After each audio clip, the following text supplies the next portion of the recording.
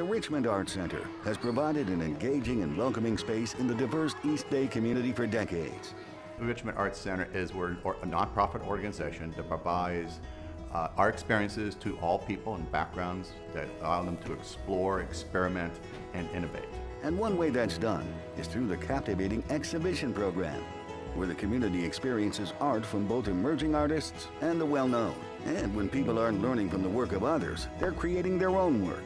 The Richmond Arts Center is very fortunate to have a number of studios that are designed to learn a specific craft. The center has six studios where people explore fiber arts, ceramics, drawing, painting, mixed media, metals, and jewelry.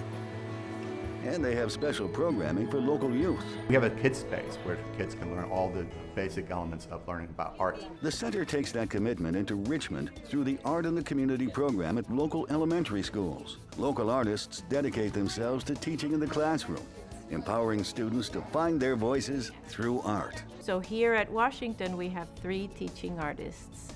One of them teaches ceramics. We have a mosaic teacher and also a sculpture with recyclable materials teacher. We bring the art making experience to children from Richmond and surrounding cities. We bring the art to you.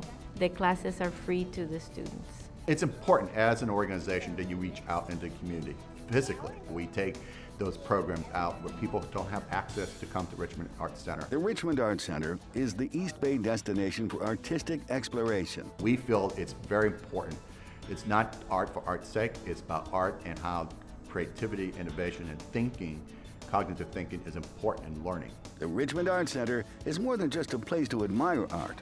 It's a place where art truly comes to life.